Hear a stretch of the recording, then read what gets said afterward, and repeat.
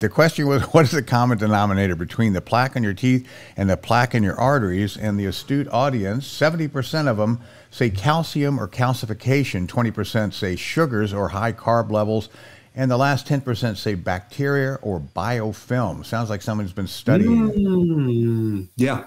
The answer is biofilms. Now, what are, what are biofilms? They're a, kind of a collection group of a colony of microbes that band together that then form a slime shell and then a calcium shell. 95% of all the bacteria in the environment is living in biofilms. So even if you walk through a stream and reach down and feel like these rocks, they have this slippery that's biofilms.